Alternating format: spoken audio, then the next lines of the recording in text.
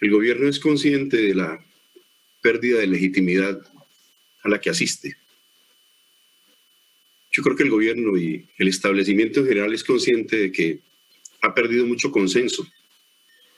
Es decir, la capacidad que tienen los gobiernos de obtener el consentimiento popular lo ha perdido. Lo ha perdido, entre otras cosas, por razones de su actuación y de su producción legislativa.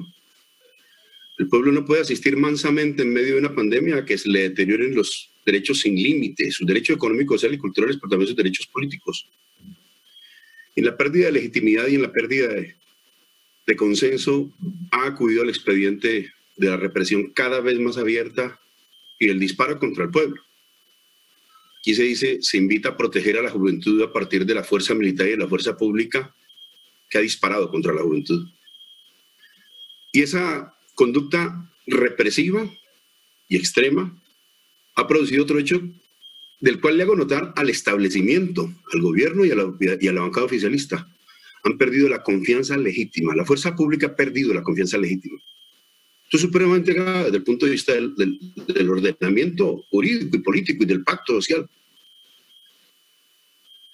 Y por esa razón le doy crédito a la preocupación de Iván Cepeda, yo me sumo a ella, la posibilidad de que en una tradición antidemocrática de nuestras élites se acuda al expediente del mismo que ocurrió con el binomio Turbay Ayala, Fernando Landazada Reyes, y que de una manera inteligente, eh, algún parlamentario, Polo lo decía inicialmente, Estatuto de Seguridad, expediente de conmoción interior. Vivimos 30 años en estado de excepción, estado de sitio.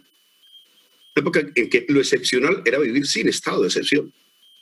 Fue parte de nuestra historia y de una tradición de la élite y de la, alianza del terrateniente con el capital financiero, que creo que más o menos se repite aquí, por estas calendas, como las fue durante Uribe y como lo ha sido en otras épocas. Creo que nos corresponde orientar desde acá al, al país. Mira, una primera.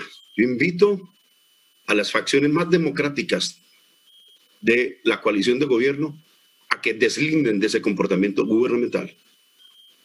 Es la hora de deslindar. Creo que hay un proyecto de fascistización de la fuerza pública y de sectores de la fuerza pública y el discurso de la economía fraterna y otros más que he escuchado acá. Hay que ver al doctor Felipe Mejía. ¿Cuánto de lo facio hay en ese discurso? El elemento discursivo me que es muy importante en esta plenaria y lo que han dicho varios. Los llamados de la doctora Rosario me parece que también tienen ese tono. De modo que invito a las facciones más democráticas de la coalición de gobierno a que deslinden de ese tipo de comportamiento, a que no permitan que el país sea conducido. Pero también a una orientación en general a los luchadores por la democracia, es verdad. Esto no, es altisonante. Le recuerdo el dicho de un búlgaro.